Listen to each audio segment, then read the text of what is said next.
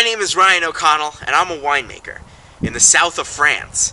But I'll leave my vineyard and come to New York to present my topic how to convince a farmer to buy a website instead of a tractor.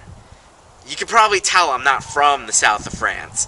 I'm a big city boy in the US, I was a, a computer nerd. And acculturating to this new, very agricultural, rural lifestyle has been really a long process, to say the least. But I've gotten to talk to a lot of farmers about the internet and new tools. And I think I've garnered some very interesting insights about our hangups to adopting the new tools and the new technologies instead of spending our, our limited resources on the old tools that we're so much more familiar with. I think there'll be some startling insights when I share that with you, and you'll see that in some ways the publishing world and winemaking and every field are very, very close. And uh, it would be a great honor to come and speak to you, and I appreciate you taking the time to watch this video.